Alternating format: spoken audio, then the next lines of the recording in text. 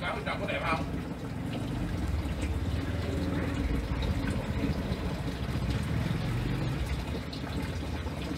Hello.